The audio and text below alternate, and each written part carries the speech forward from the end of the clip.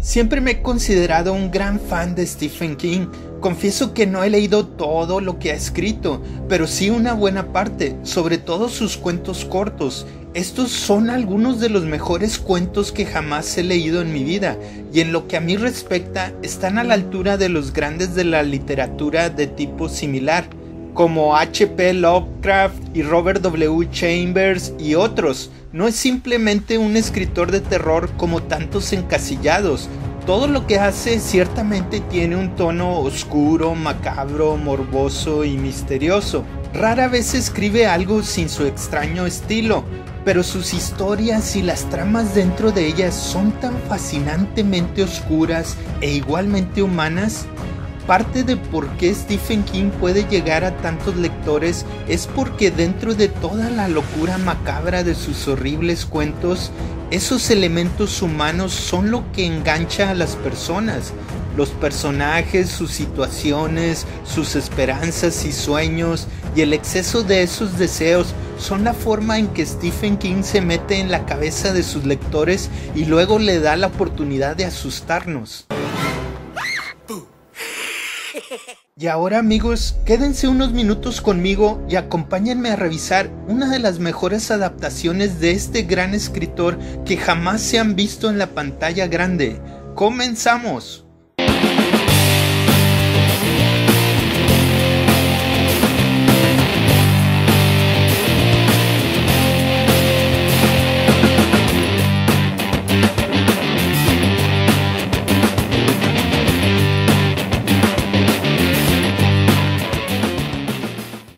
Misery es una de las raras novelas de Stephen King que siento que es tan buena en la pantalla como en la página. Sin embargo, esta es una de sus historias que es más confinada y simple en su ubicación. La historia no es sobrenatural ni nada por el estilo. La fuerza de la novela está en su enfoque en el personaje y en el entorno. La película es tan perfecta por el hecho de que estos personajes están tan bien desarrollados dentro de las limitaciones de la historia y su entorno limitado. Todos los ángulos psicológicos, emocionales y viscerales del horror están anclados a las actuaciones de James Caan y Kathy Bates. El director Rob Reiner toma muchas decisiones sólidas, pero sin duda esos dos son los que se roban totalmente el espectáculo.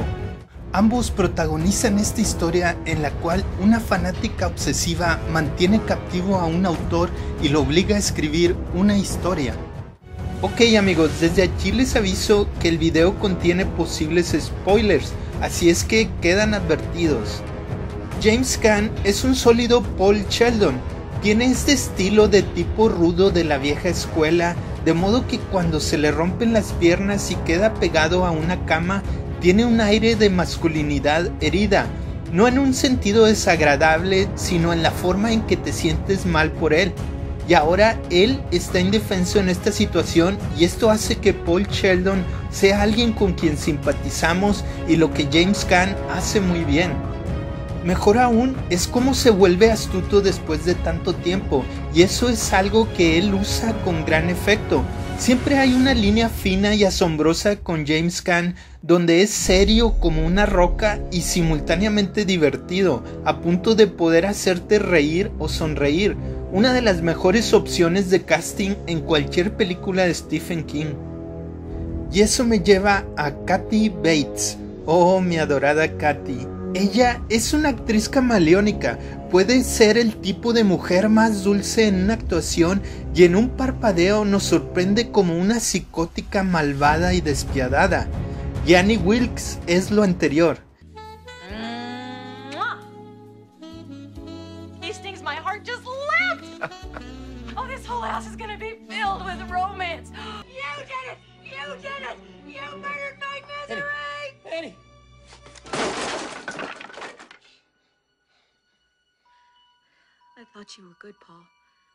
Y al mismo tiempo, incluso después de saber que está loca, podemos ver que hay algo de sentimiento en ella. Ella se siente como la mejor persona solitaria, la más solitaria. Hasta el punto de un comportamiento peligrosamente caótico, como cuando secuestra a Paul Sheldon. Kathy Bates realmente saca a relucir el lado mentalmente enfermo de Annie, aunque no de una manera melodramática, tampoco su psicosis es risible, su lado aterrador siempre está presente. Kathy Bates nunca nos permite olvidar el peligro de Annie, ella nos lleva a los aspectos extraños y oscuramente divertidos del personaje, al tiempo que se asegura de que el ángulo del thriller psicológico nunca se quede atrás. Lo mejor de todo es que el personaje de Annie Wilkes se siente muy adelantado a su tiempo. Originalmente escrita en 1987, esto es décadas antes de la increíble manía del fanatismo tóxico de hoy en día. Puedes mirar hacia atrás en Misery y verlo como una metáfora sobre cómo los fanáticos exigen lo que quieren de los creadores del material que tanto aman de hecho, exigen tanto que lastiman al creador, ya que no siempre pueden complacer a su audiencia y también a sí mismos como artistas.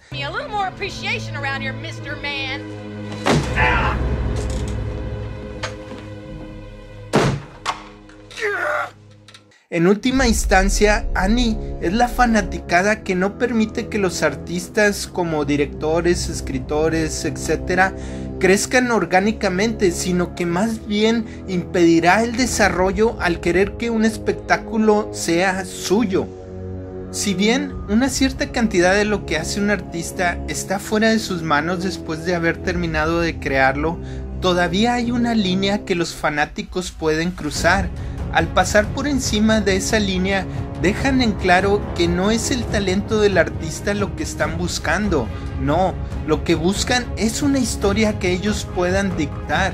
Entonces se convierte en algo que no es del creador, o en este caso el autor, Annie no es solo una psicópata, aunque esto funciona increíblemente bien a un nivel superficial. Ella es además una representación de cómo los fanáticos pueden limitar a los artistas que admiran con expectativas personales y a los cuales desean forzar. I'm sorry, Paul, this is all wrong. What? You'll have to do it over again. It's not worthy of you. Throw it all out. I really value your criticism. But maybe we're being a little hasty here. Paul, what you've written just isn't fair. Not fair. En la actualidad, con YouTube, Facebook, Twitter y otras plataformas de redes sociales, Annie Wilkes es un personaje aún mejor y más relevante, ya que con demasiada frecuencia hemos visto que esta conexión directa entre artistas y fanáticos crea un dolor de cabeza para productores, directores, actores, etc incluso hasta el punto de que hoy en día estas fanaticadas o algunos de ellos casi esperan que las personas y las diversas redes hagan lo que ellos quieran. Es cierto que los fanáticos son los que ponen dinero en las compañías de producción, sin embargo, eso no significa que se deba esperar que los directores y escritores recopilen material hecho a la medida para cada fanático. Eso es absolutamente una locura. Parte de la emoción para mí en cine y televisión es no saber. Me gusta que los escritores y directores me sorprendan. No quiero poder telegrafiar cada giro y movimiento de la trama. Eso es aburrido. Si quieres tener el poder de determinar una película o un programa de televisión, cómo va el reparto o la trama o lo que sea, entonces no eres mejor que ella. Annie Wilkes obligando a Paul Sheldon a cambiar su libro. Solo los fanáticos estilo Annie Wilkes no pueden dejar que las cosas fluyan naturalmente. Tienen que tenerlo a su manera o de ninguna manera. Hay algunos momentos realmente horribles en esta película. Esta tiene horror psicológico así como horror físico real como para hacerte voltear la vista a otro lado. Incluso solo Paul Sheldon y sus piernas rotas son un poco de horror corporal. Aunque una vez que Annie decide sacar su historia de cuando los primeros días en las minas de diamantes, cuando lisiaban a los trabajadores por robar, entonces sí que las cosas se ponen horribles. Paul, do you know about the early days at the Kimberly Diamond mines? Do you know what they did to the native workers who stole diamonds? Don't worry, they didn't kill them. No, if they caught them, they had to make sure they could go on working. But they also had to make sure they could never run away. The operation was called hobbling.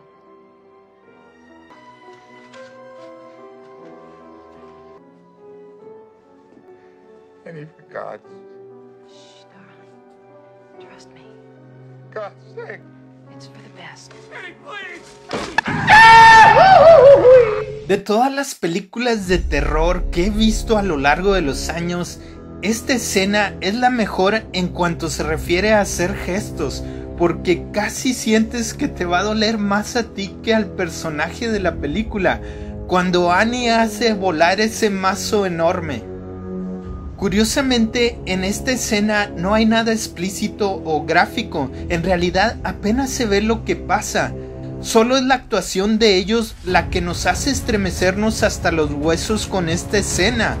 Paul Sheldon grita de dolor salvaje, Annie camina triunfalmente por la habitación con su mazo, el diseño de sonido y la excelente dirección de Rainer elevando la tensión en cada segundo.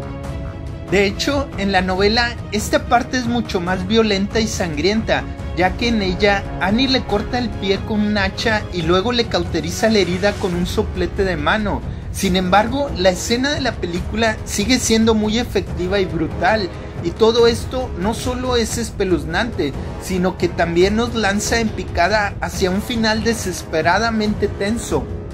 En resumen, este es un clásico de 5 estrellas, una obra maestra, una de las mejores adaptaciones de una novela que he presenciado.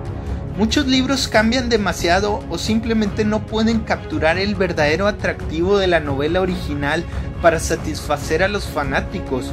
Como fan de Stephen King de toda la vida, encuentro a Misery tan satisfactoria en todos los sentidos. La trama se desarrolla maravillosamente en pantalla, con un guion de William Goldman perfectamente adaptado y todo se desarrolla adecuadamente para mantener el viaje emocionante e igual de convincente. Y para cuando aparecen los créditos finales nos damos cuenta que hemos tenido un viaje dolorosamente largo y arduo junto a Paul Sheldon en su silla de ruedas. Es todo por esta ocasión amigos cinéfilos, gracias por ver este video hasta el final, espero que les haya gustado y si fue así, por favor no olviden suscribirse al canal y activar la campanita para ver más videos como este. Siempre es un placer hacer videos para ustedes y no me queda más que pedirles que se cuiden mucho y hasta la próxima.